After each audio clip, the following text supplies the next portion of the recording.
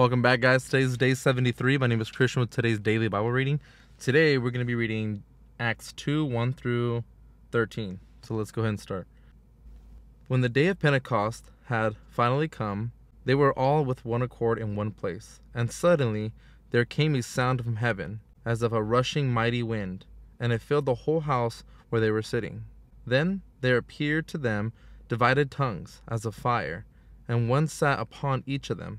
And they were all filled with the Holy Spirit, and began to speak with other tongues, as the Spirit gave them utterance.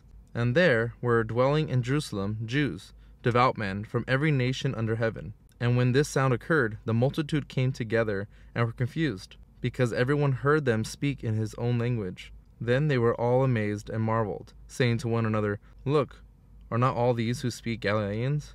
And how is it that we hear, each in our own language in which we were born?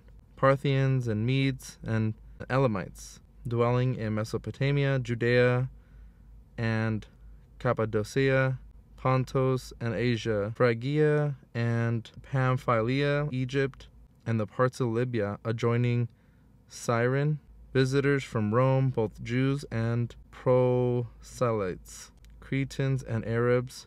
We hear them speaking in our own tongues the wonderful works of God. So they were all amazed and perplexed, saying to one another, Whatever could this mean? Others, mocking, said, They are full of new wine.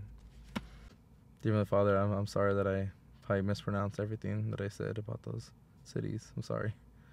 Um, thank you, Lord, for filling them with the Holy Spirit.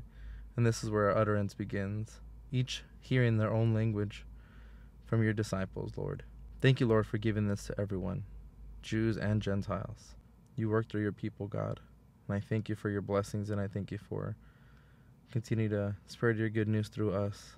Lord, you always keep your promises. And to those listening to this right now, Lord, I just pray that you fill them with your with your Holy Spirit. You give them new tongues, that they may pray in the Holy Spirit. I thank you, God. In Jesus' name I pray. Amen. For day 74, go ahead and click on the link on the screen, and I'll see you guys in the next one.